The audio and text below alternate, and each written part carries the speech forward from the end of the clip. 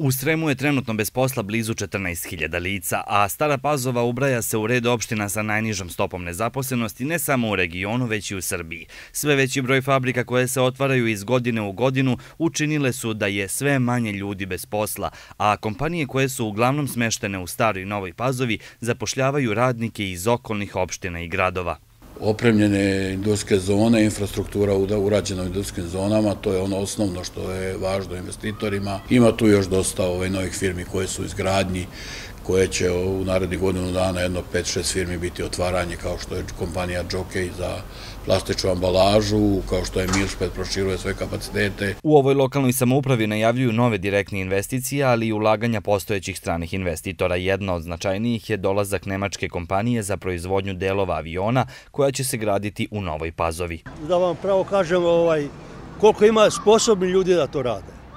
Jedino da idu svi na obuku. Svaki dolazak je pozitivan, to je sve okej.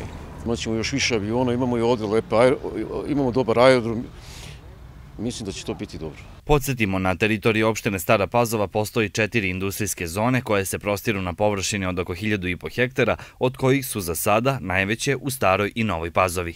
Prema rečima nadležnih, plan je da se radna zona u Krnješevcima opremi i proširi na dodatnih 650 hektara, što će uticati na dalji razvoj privrede u jugoistočnom delu Srema.